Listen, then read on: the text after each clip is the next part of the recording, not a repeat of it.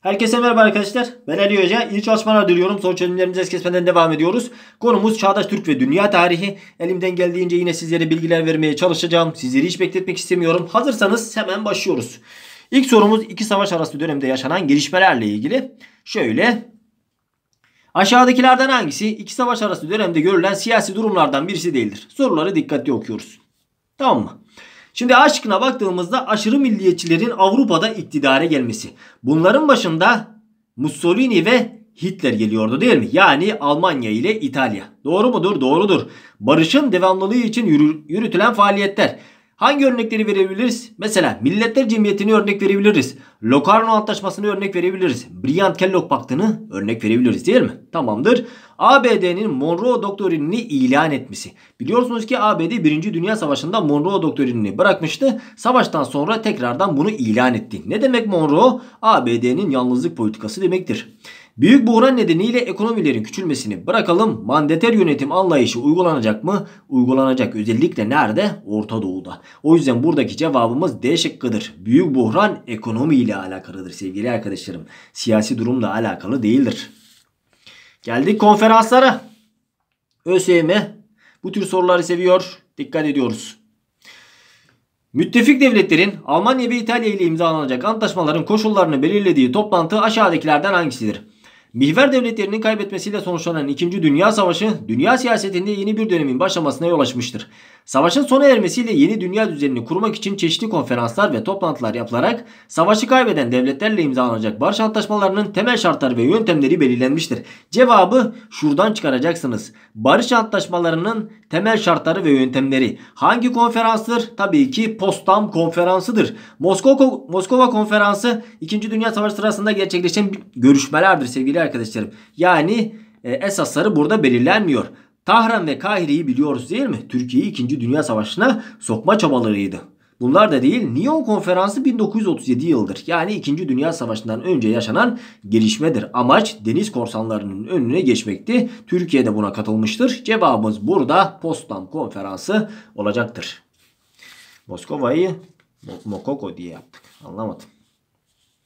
Diğer sorumuz sevgili arkadaşlarım aşağıdakilerden hangisi müttefiklerin bu amaca yönelik girişimlerinden biri değildir? Bakalım Almanya'nın 1942'de Stalingrad yenilgisinden sonra müttefikler Türkiye üzerinden baskıyı arttırarak Türkiye'nin savaşa katılmasını sağlamaya çalıştılar. Şimdi burada San Francisco'yu bir kenara bırakalım. Tahran Türkiye'yi savaşa sokma çabaları. Birinci ve ikinci Kahire. Buraya Numan Menemencioğlu gidiyor. Ondan sonra ikinci Kahire'ye İsmet İnönü de katılıyor. Ve şu dile getiriliyor. Türkiye diyor ki eğer bize yardımı yaparsanız savaşa katılırız. Bunlar da tamamdır. Adana konferansı Churchill'la yapılıyor. E, dönemin e, en önemli kişilerinden biri Fenerbahçe efsanesi de bu konferansa katılıyor. Yani Şükrü Saraçoğlu da katılıyor. Tamam doğrudur. San Francisco konferansıyla Avrupa'daki savaş sona ermiştir ve Birleşmiş Milletler kurulmuştur. Cevabımız A şıkkı.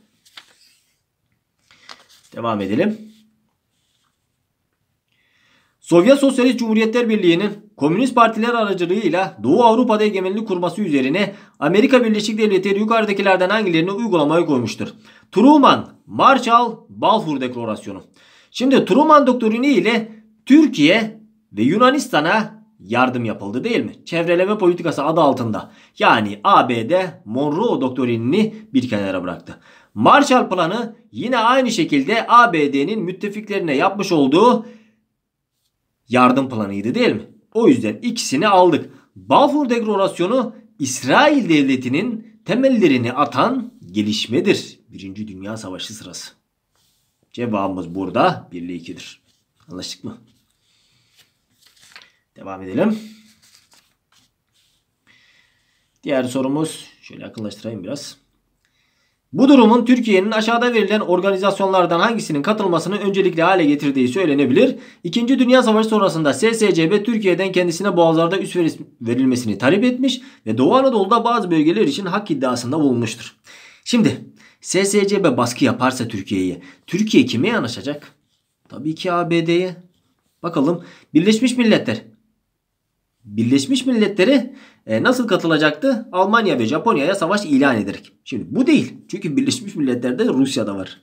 Balkan Antantı 2. Dünya Savaşı öncesinde yaşanan gelişmedir. Türkiye, Yunanistan, Yugoslavya ve e, Romanya'nın katıldığı paktı. Uluslararası Para Fonu IMF'den bahsedilmiş. Bu değil sevgili arkadaşlarım. Kuzey Antantı'yı bırakalım. Varşova SSCB'nin kurduğu paktır. Ona katılır mı? Katılmaz. Tabii ki ABD'nin öncülüğünde kurulan NATO'ya üye olacaktır. Ne zaman üye olacaktı?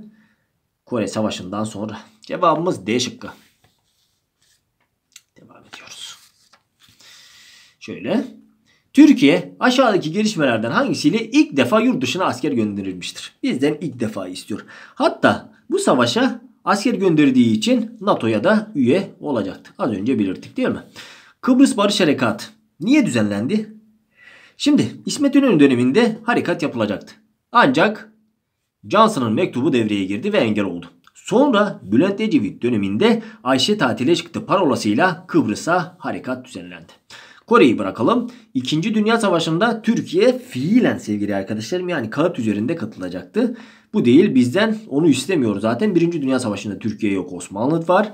Musul sorunu biliyorsunuz ki 1926 Ankara Antlaşması'yla çözüme kavuşa, kavuşacaktı. Ee, şöyle çözüme kavuşuyor. Kerkük ve Musul İngiltere'nin güdümünde olan Irak'a bırakılacaktı. Buradaki cevabımız Kore Savaşı olacaktır. Kore Savaşı'nın tarihleri 1950 ile 53 yıllarıdır Panmunjom mütarekesi ile savaş sona ermiştir. Devam edelim. Komuta kimdeydi? Tahsin yazıcıdaydı. Diğer sorumuz. Aşağıdakilerden hangisinin sonucunda İsrail devleti mevcut topraklarını yaklaşık 4 katına çıkarmıştır? Oho. Şimdi Arap-İsrail savaşları ee, İsrail devleti kurulduktan sonra yapılan savaşlardır. Irak bu savaşa katılıyor sonrasında hiçbir savaşa katılmıyor. Tamam bu değil. Şimdi yeni kurulduğu için 4 katına çıkaramaz değil mi? Yom Kippur, Mısır, İsrail savaşlarıdır. Bu savaşı bitiren antlaşmalar Camp David antlaşmasıdır. Kimin katkılarıyla? Kissinger'ın katkılarıyla. ABD. Anlaştık mı değerli arkadaşlarım? Kissinger'ı burada unutmuyoruz. O yüzden bu ikisi gitti. Süveyş krizi neydi? Mısır'ın lideri Nasır'ın kanalı millileştirmesiydi. Buradaki cevabımız 1967 yılında gerçekleşen 6 gün savaşları olacaktır. İsrail Savaşı 6 saatte bitiriyor. Değerli arkadaşlarım ve topraklarını 4 kat genişletiyor. Diğer sorumuz. Aşağıdakilerden hangisi Komünist Yugoslavya Federasyonu'nun dağılmasıyla ortaya çıkan devletlerden birisi değildir? Değilmesiyle. Bunların başında Slovenya ve Hırvatistan geliyor. Sonraki dönemlerde Sırbistan ve Bosna Hersek. Zaten savaşları biliyoruz değil mi?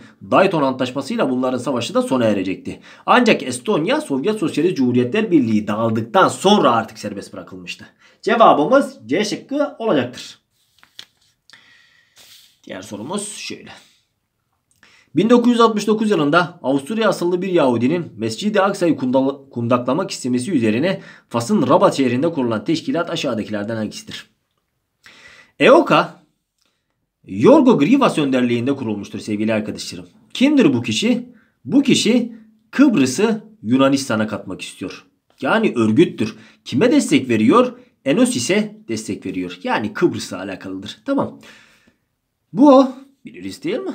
Dünya Sağlık Örgütü, UNICEF çocuklar için oluşturulmuş kurum, çocukları koruma, OAPEC petrol ihraç eden Arap ülkeleridir değerli arkadaşlarım. Özellikle 1967 Arap-İsrail savaşlarından sonra ön plana çıkacaktı. Buradaki cevabımız İslam e, Kurtuluş Örgütü olacaktır. Yani İslam Kurtuluş Örgütü mü? İslam Konferans Örgütü sevgili arkadaşlarım. İslam Kurtuluş değil ya. İslam Konferans. Sevgili arkadaşlarım. İslam Konferans Örgütü ile ilgili bilmemiz gereken kişi Ekmelettin İhsanoğlu'dur. Anlaştık mı? Ekmelettin İhsanoğlu'nu unutmuyoruz. 21. yüzyılda görev alan önemli kişilerden biridir. O yüzden cevabımız B şıkkı olacaktır. Sorular zor muydu? Ee, sorulara baktım. En kısa zamanda da 2018 yılının sorularını paylaşacağım değerli arkadaşlarım. Ee, paylaşacağım. Büyük ihtimal pazartesi günü paylaşacağım. Ee, hangi sorular gelecek, ne tip sorular gelecek onun hakkında da konuşacağız zaten. Çağdaş Türk ve Dünya Tarihi sizi biraz zorlayabilir. Ama ben ne yapacağım? Sizin için basite indirgemeye çalışacağım. Umarım hızlı geçmemişimdir değerli arkadaşlarım. Çünkü bazı arkadaşlar diyor ki hocam çok hızlı konuşuyorsun. Ama bazı arkadaşlar da hızlandırarak izliyor. İnanın ben de e, arada kalmışım. Umarım işinize yaramıştır. Kendinize çok ama çok iyi bakıyorsunuz. Bir sonraki paylaşımda görüşmek dileğiyle. Bilgiyle kalın, tarihiyle kalın, kültürle kalın. Hoşçakalın.